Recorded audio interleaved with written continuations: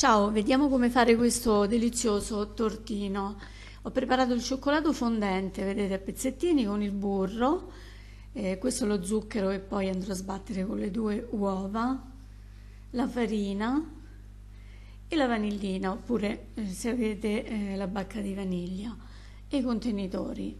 Bene, ora faccio sciogliere il cioccolato con il burro a bagnomaria e nel frattempo sbatto le due uova, uova freschissime, sapete che io prendo sempre uova in campagna da amici. In rete trovate diverse ricette pressappoco simili, io però ho preferito prendere questa che è di Fable de Sucre, eh, che è quella che mi convinceva di più. Bene, una volta sbattute le uova, eh, rende, fino a renderle un pochino spumose, ma, ma non molto, eh, non più di tanto, aggiungo la farina e sbatto ancora con la frusta, ma se volete anche con quella elettrica. Nel frattempo il cioccolato si sta sciogliendo a bagnomaria.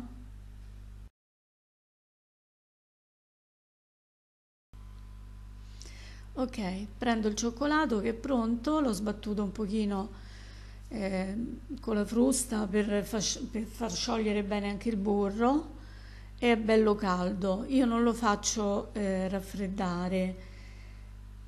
Voglio mettere le uova mentre il cioccolato è ancora caldo. Così facciamo anche eh, la pastorizzazione delle uova. È un po' di tempo che mi sto dedicando un pochino di più ai dolci che invece eh, al pane, ma tranquille, fra poco riprendo anche con il pane. Adesso mi è presa la mania dei dolci.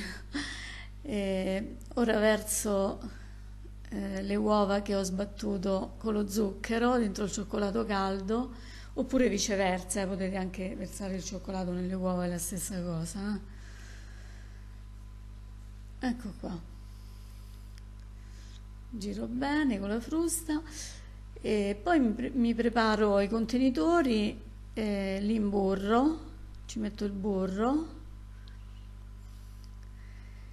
eh, potete anche versare direttamente così ma io ci ho messo un po' di zucchero di canna così ho spolverizzato così si staccheranno bene e sopra rimarrà eh, lo zucchero un po' caramellato. Bene. E adesso eh, riempio i contenitori. Ce ne vengono 4 con questa dose, eh. non devono essere pienissimi, devono rimanere un pochino sotto del bordo perché poi in cottura cresceranno anche se non c'è lievito in questa ricetta, eh. però cresceranno comunque.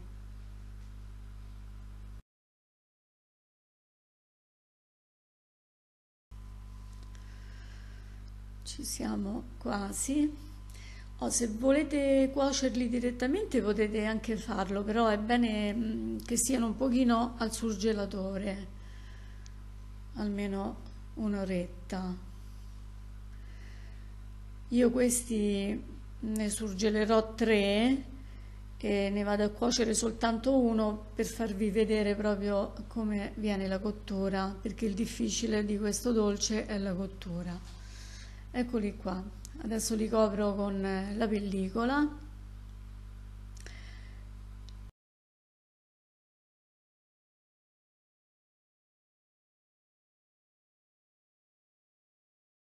Allora il forno l'ho messo a 200, però poi ho abbassato un pochino, 190, anche 180 e ho messo il timer a 13-14 minuti. Eccolo qua vedete dopo 10 minuti faccio cuocere ancora un pochino si sta alzando. Eccolo vedete deve formare fuori questa piccola crosticina però dentro deve rimanere morbido vedete il cioccolato che si è attaccato allo stecchino. Questo è il momento giusto per tirarlo fuori. Forse anche un minutino di più dovevo l'ho tirato prima di 15 minuti io 15 minuti direi che va bene almeno con il mio forno controllate voi anche a occhio eh, mi raccomando bene ho girato avete visto è uscito facilmente dal contenitore Sopra fate a piacere, zucchero a velo, io ci ho messo, adesso ci metto anche un po' di cacao, così.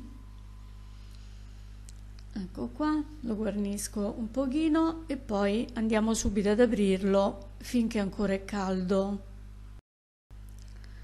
Potete anche mettere dei frutti di bosco vicino, qualsiasi cosa. Adesso questa è un'immagine così, tanto per fare la foto, quello che mi trovavo in casa ho messo. Eccolo qua.